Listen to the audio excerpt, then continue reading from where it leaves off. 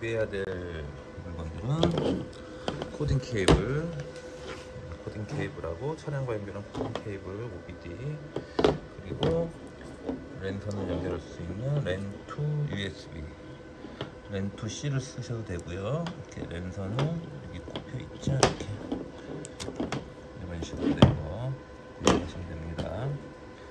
랜선을 바로 여기 direct로 꼽을 수 있는 노트북을 사용하시는 분들도 이 제품을 살 수 있게 하시면 되고 다이소에서 한 5,000원 정도면 구매하실 수 있어요. 그리고 이 프로그램 하나 다운 받으시고 이제 카플레이 활성화하는 방법 보여드릴게요. 자, 가보겠습니다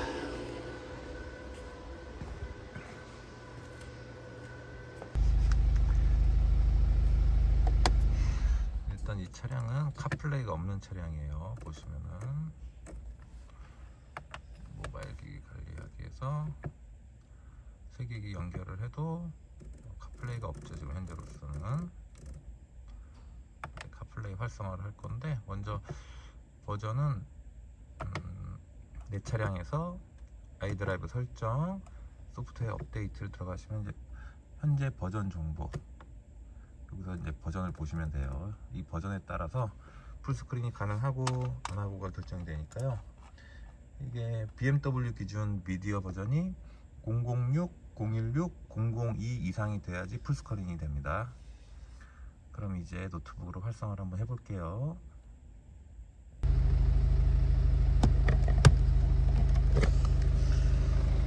주시고. 케이블을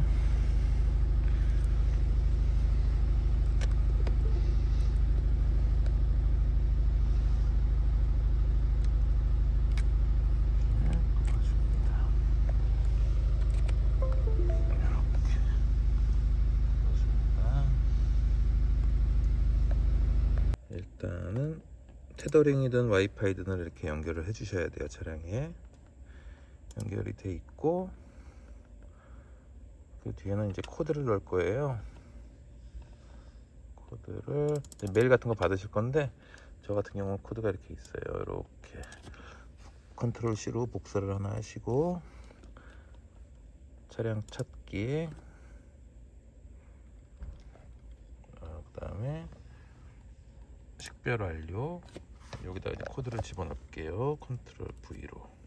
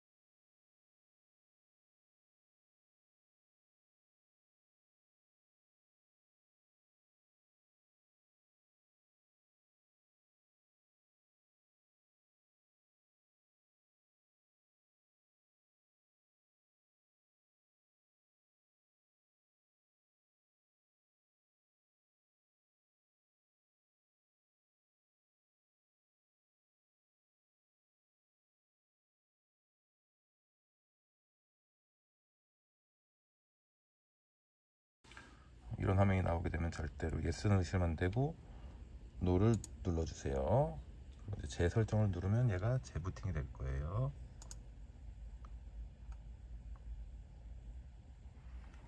issue reset 이렇게 재부팅이 될 겁니다.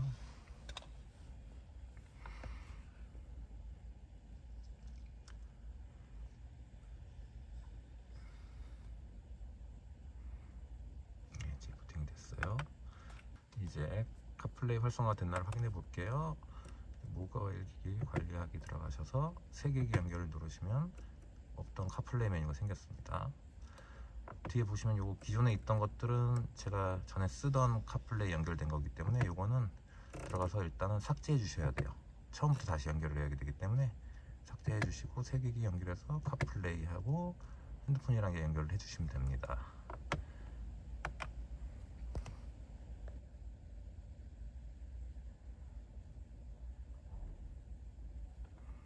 이렇게 연결이 됐어요. 이제 카플레이를 즐기시면 됩니다.